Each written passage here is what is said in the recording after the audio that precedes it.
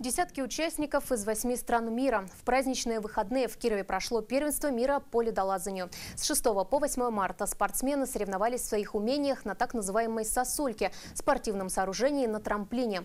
Как альпинисты проходили трассы, наблюдала Елена Шарыгина.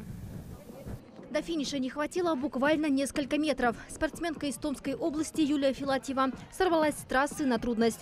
Как потом призналась, не хватило сил, руки сами опустились.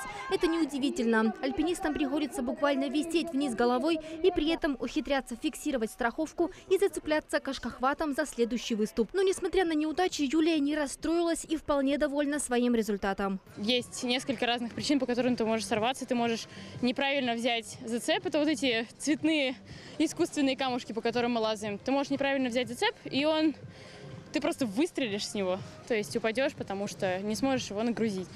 Можешь просто устать. Я устала. То есть, ну, да, довольно тяжело лезть по, по нависанию, которое почти, почти переходит в потолок. Всего в первенстве приняли участие 75 спортсменов. Это юноши и девушки в возрасте от 16 до 21 года. Они приехали из восьми стран мира, таких как Швейцария, Лихтенштейн, США и другие. Альпинистам необходимо было пройти две трассы – на трудность и на скорость. В первом случае спортсменам отводилось на прохождение 10 минут. За это время они должны были пройти как можно дальше. А на втором этапе важна была скорость. Кто быстрее заберется на ледяную стену. Ну, больше половины российской сборной кировчане Вообще сборная российская самая многочисленная, тут 45 спортсменов из, 70, из 75.